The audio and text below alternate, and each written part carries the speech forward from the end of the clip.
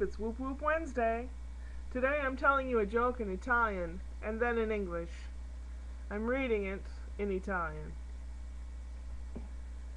Sulla strada nel mezzo del deserto del Sahara, un'automobile si ferma davanti alla tenda di un beduino.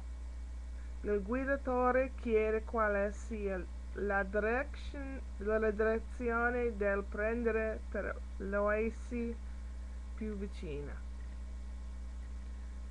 Sempre dritto, risponde il beduino, e martedì a mezzogiorno devo voltare a sinistra. In other words,